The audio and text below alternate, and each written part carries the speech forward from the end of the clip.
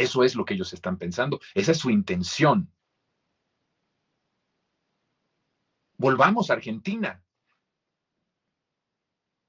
Una columnista argentina responsabiliza a los neutrales,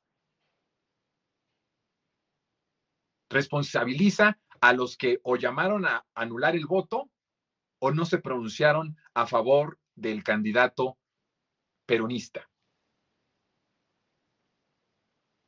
haciendo el caldo gordo a la ultraderecha, a la extrema derecha que ya está a punto de gobernar Argentina.